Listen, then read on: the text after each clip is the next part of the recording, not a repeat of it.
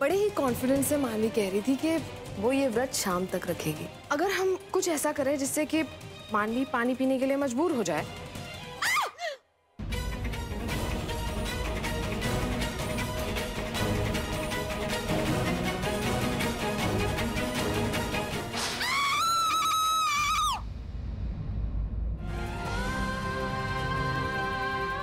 इसे झेलने की जगह इसका एक वीडियो निकाल लेते हैं। मतलब रॉक स्टार राहुल से हैवान बनता हुआ वीडियो। नहीं किसी को इस बारे में भनक भी नहीं पड़नी चाहिए। मेरा शक सही था मानवी जी। मिस्टर राज सबरवाल ने इस बारे में कमिश्नर साहब से कोई बात नहीं की। पापा हमसे हर रोज कहते हैं कि मैं कमिश्नर से बात कर रहा हूँ। मैं राहुल के ऊपर निगरानी रखवा रहा हूँ जबकि पापा ने आज तक कमिश्नर से कभी कोई बात नहीं की राहुल के बारे में।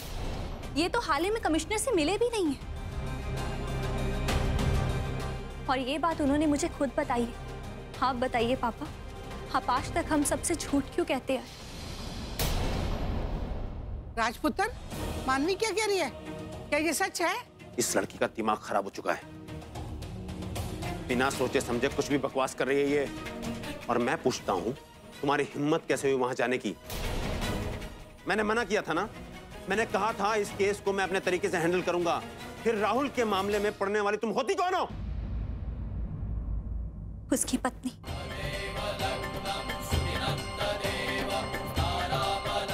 और उसकी पत्नी होने के नाते मेरा ये जानने का पूरा हक है कि मेरा पति कहाँ है, किस हाल में उसकी खोज खबर ये सब जानना मेरा हक है। और ये हक मुझे किसी से मांगने की ज़रूरत नहीं। पापा, मैं जो कुछ भी कर रही हूँ, वो राहुल की भलाई के लिए कर रही हूँ। ओह रियली तो तुमको क्या लगता है? सारी चिंता तुम्हें ही है। मतलब तुम्हारे कहने का मतलब ये है कि मुझे अपने बेटे की कोई चिंता नहीं मुझे उसकी कोई परवाह नहीं है। यही कहना चाहती हो तुम? वो ऐसा नहीं कह रही है राज। वो तो बस इतना पूछ रही है कि तुझे हम सबसे झूठ बोलने की क्या ज़रूरत थी? इसकी वजह क्या है? हाँ माँ बहुत बड़ी वजह है। वजह है आप लोग। आप लोगों की बेकार की चिंता। आप लोगों की इस चिंता की वजह से राहुल का करियर बर्बाद हो जाएगा। अरे आप लोग जानते हैं अगर ये बात मीडिया के अंदर चली गई तो क्या होगा? घर के बाहर मीडिया का तांता लगा होगा। लोग हज़ार तरीके के सवाल पूछेंगे और सवाल तो पूछेंगे ही। उनके जवाब भी खुद ही सोच लेंगे। राहुल की इमेज बर्बाद हो जाएगी। क्यों होगा ऐसा पापा? क्यों कोई उस पर उंगली उठाएगा? क्यों उसकी इमेज खराब होगी? राहुल ने किसी को किडनैप नहीं किया उसका खुद का किडनैप हुआ है।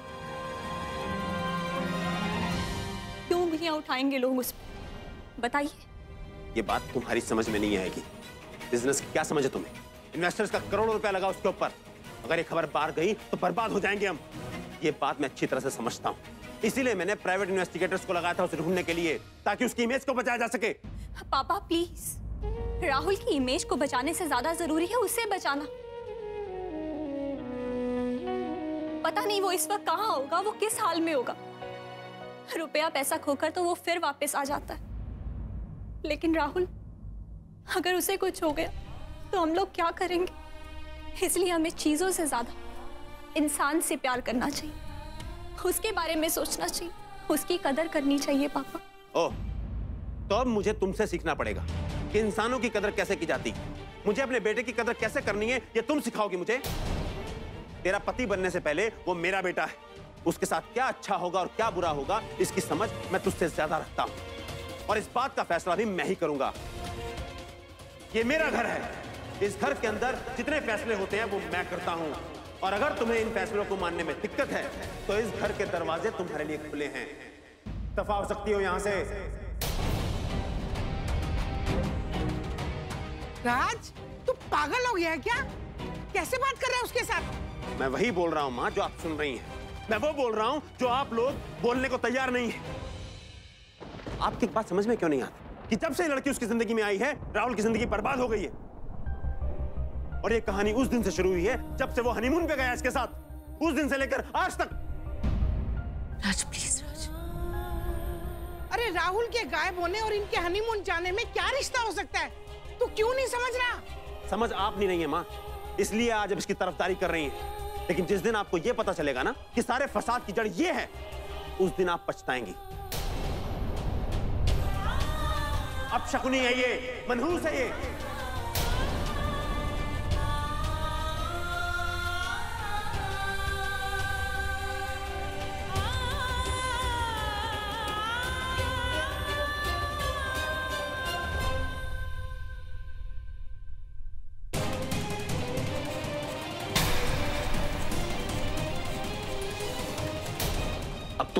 लेक्चर सुनाना ना मुझे?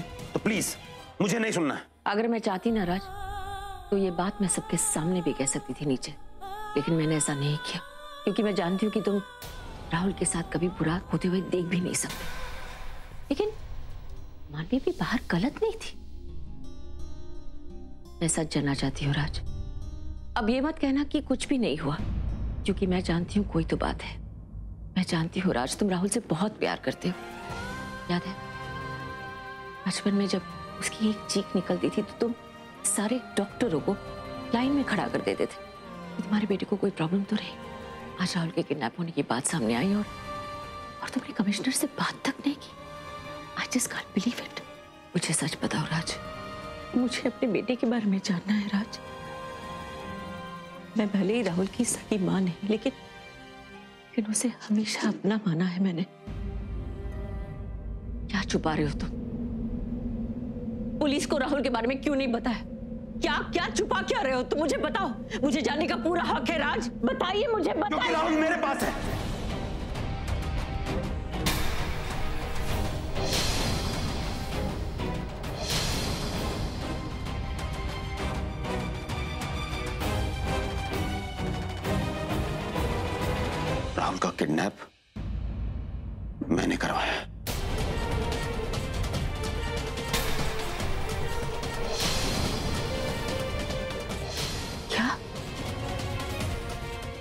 राहुल का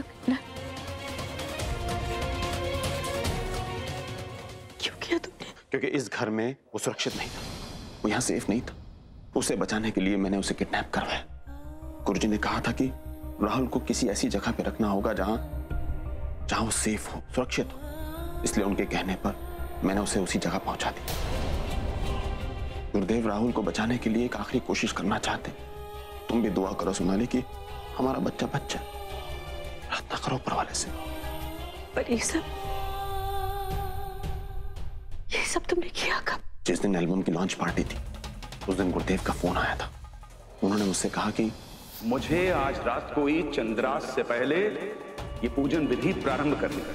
इसलिए तुम किसी भी तरह राहुल को लेके यहाँ चले लेकिन ध्यान रहे इस बात का किसी को पता नहीं चलना चाहिए। यहाँ तक कि स्वयं राहुल को भी। जी गुरुदेव। और फिर बगैर टाइम वेस्ट किए मैंने राहुल का पता लगवाया। वो यहाँ पार्टी से निकलकर कोल्ड स्टोरेज की तरफ़ गया था। मैंने अपने आदमियों से कहा उन्होंने वैसा ही किया और मौका लगते ही राहुल को गायब कर दिया।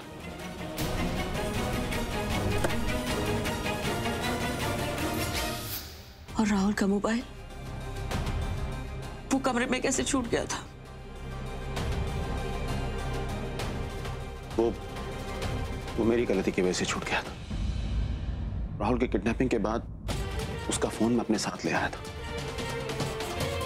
मैं मैं उसके रूम में उसके कपड़े लेने गया था। शायद वो फ़ोन तभी वहाँ छूटा। लेकिन जब राहुल के फ़ोन पे कॉल आया तो, तो मेरे होश उड़ गए। मुझे अपनी गलती का एहसास हुआ।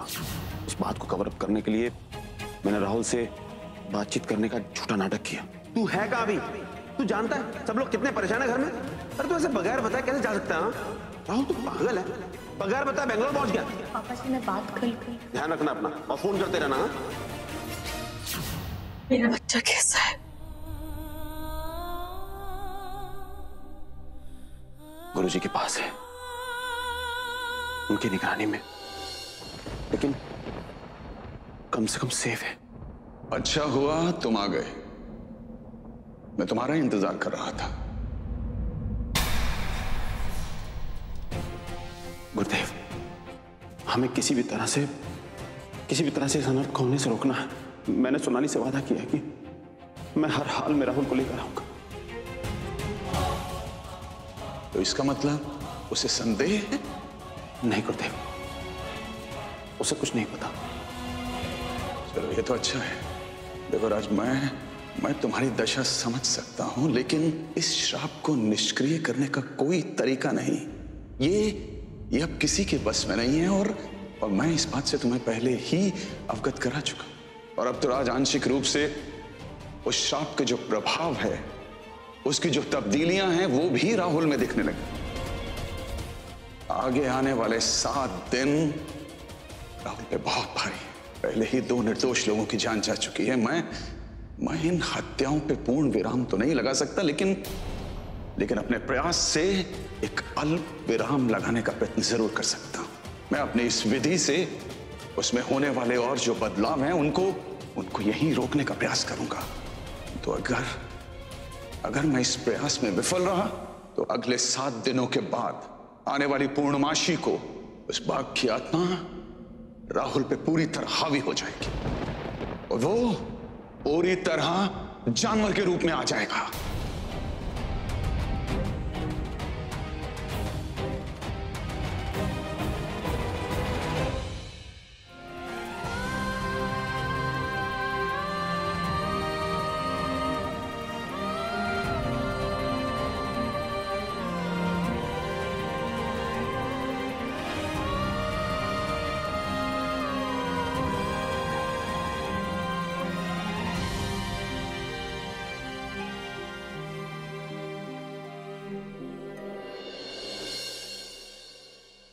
क्या आपको लगता है कि इतना कुछ करने के बाद भी हम राहुल को बचा पाएँगे? सोनाली, हमें हमें उम्मीद नहीं छोड़नी चाहिए। एक उम्मीद ही तो है जो जो इतनी दूर तक हमारा साथ दे रही है। पॉजिटिव ऊपर वाले ने चाहा तो सब ठीक हो जाएगा। लेकिन हमें इस बात का ध्यान देना होगा कि ये बात बाहर नहीं निकलनी चाहिए। ये राज राज ही रहना चाहिए। और खास तौर से मानवी। उसे तो इस बारे में बिल्कुल पता नहीं चलना चाहिए। ध्यान रखना।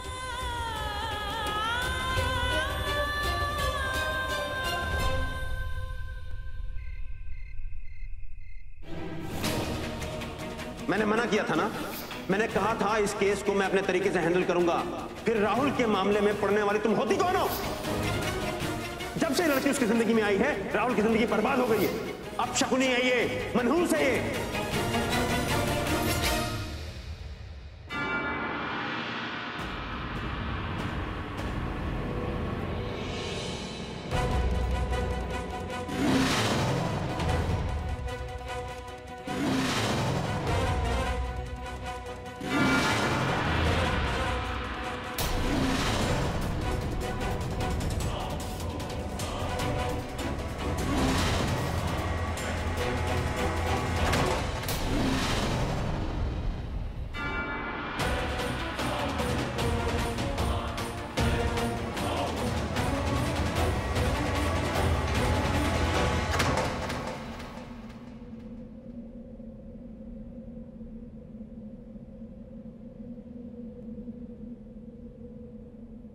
ऐसा क्यों लगा कि राहुल?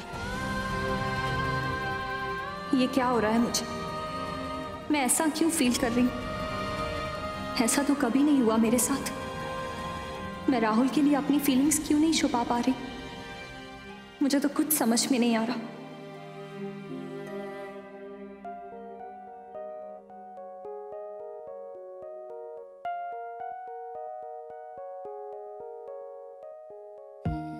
प्लीज़ वापस आ जाओ, राहुल। मुझे ये बेचैनी क्यों हो रही है? इसका जवाब सिर्फ़ और सिर्फ़ तुम ही दे सकते हो। प्लीज़ वापस आ जाओ। आई मिस यू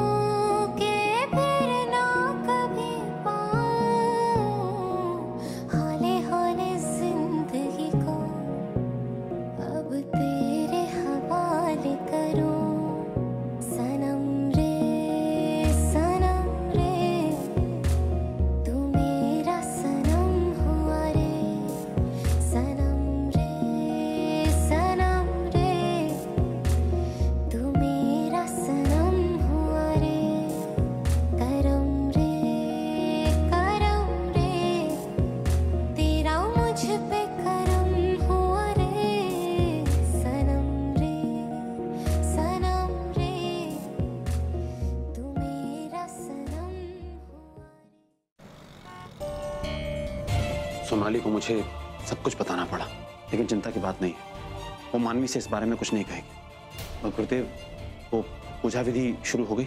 हाँ उसकी प्रक्रिया चल रही है लेकिन इस पूजा में हम सफल होंगे या नहीं ये पूजा के अंतिम चरण के बाद ही पता चल पाएगा। पता नहीं गुरुदेव मैं मैं ये उम्मीद छोड़ना नहीं चाहता हूँ। मुझे क्यों ऐसा लगता है कि कोई ना कोई रास्ता ज़रूर निकलेगा? हाँ राज एक आशा की किरण दिख रही है जिसे राहुल को बचाया जा सकता है। क्या है गुरुदेव? बताइए ना। देखो राज तुमने अब उम्मीद जताई है तो मैं बता रहा हूँ। इस श्राप को निष्क्रिय करना मुश्किल ज़रूर है किंतु असंभव नहीं। कैसे गुरुदेव? इस श्राप का नाश दुर्गापुर जागीर के उस मंदिर के साथ जुड़ा है। उस श्राप का तोड़ सिर्फ़ उसी मनुष्य के पास हो सकता है जिसे उस उस बाघ ने आशीर्वाद दिया हो। मतलब? मैं कुछ समझा नहीं गुरुदेव। दुर्गापुर जागीर का मंदिर जहाँ उस बाघ की पूजा की जाती है वहाँ का पुजारी चाहे तो इस श्राप को विफल कर सकता है। तो गुरुदेव आपने आपने ये बात मुझे पहले क्यों नहीं बताई? मैं मैं अभी उन्हें बुलवाता हूँ। मैंने उसे बुलावा भेज दिया लेकिन हमें ध्यान रखना होगा हम जो कुछ भी करें बहुत ही सावधानी से करें। लेकिन वो आत्मा हमारे हर प्रयास को विफल करने का हरसक प्रयत्न करेगी।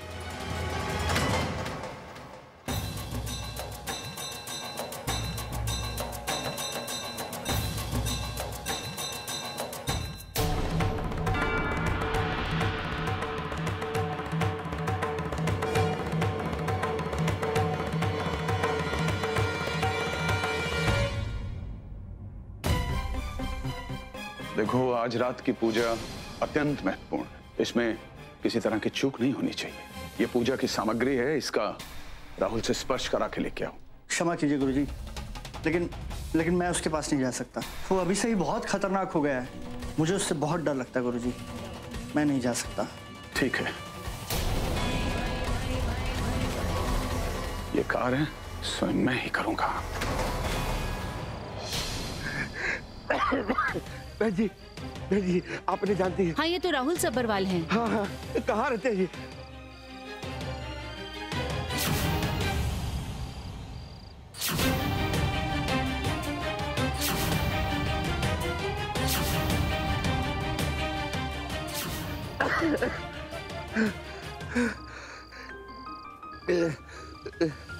ये लीजिए पानी पीजिए।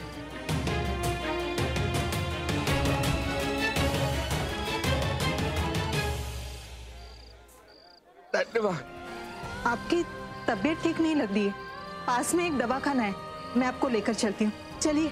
नहीं मुझे कहीं नहीं जाना मैं समय बर्बाद नहीं कर सकता। मुझे इनसे मिलना किसे? आप इन्हें जानते हैं।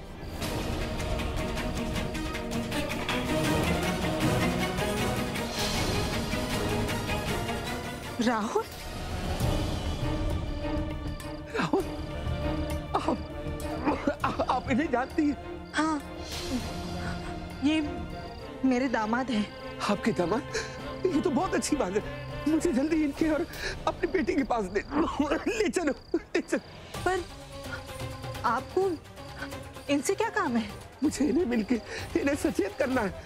वो खतरे में है। सब खतरे में सब खतरे में। आपकी बेटी से मिलके उसकी मदद करके उसकी मुश्किलों का अंत करना है। आप जल्दी से बेटी को बुला लीजिए। हाँ ठीक है। मैं मेरी बेटी को बुलाती हूँ। आप पहले मेरे साथ हॉस्पिटल चलिए। आपकी तबीयत और भी बिगड़ती जा रही है। चलिए। सिस्टर पंडित जी इसी रूम में है ना? हाँ आप उनकी फैमिली से हैं? जी नहीं लेकिन मेरा उनसे मिलना बहुत ज़रूरी है। देखिए अभी पेशेंट से उनकी फैमिली का ही कोई मिल सकता है। आप प्लीज़ मेरी बात समझने की कोशिश कीजिए। पंडित जी की फैमिली में यहाँ कोई भी नहीं है।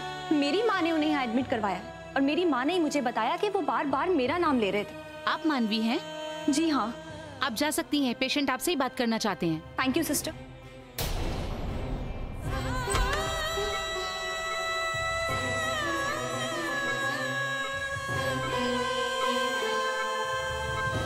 Pandit ji मैं मानवी हूँ।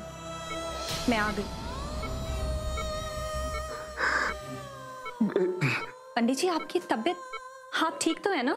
कुल कुल पंडित जी आप बोलिए मत। आपकी तबीयत ठीक नहीं है आप आराम कीजिए। अच्छा। बाग पंडित जी आप क्या बोलना चाहते हैं? मुझे कुछ समझ नहीं आ रहा। आप प्लीज़ बोलिए मत। आप आराम कीजिए पंडित जी। अंबिका अंबिका अंबिका अंबिका? पंडित जी आप बोलिए मत। आप प्लीज़ आराम कीजिए।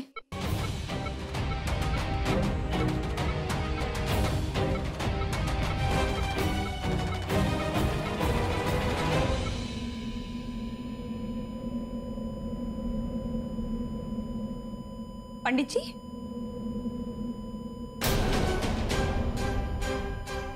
Pandit ji Pandit ji sister sister sister देखिए ना पंडित जी कुछ बोल नहीं रहे।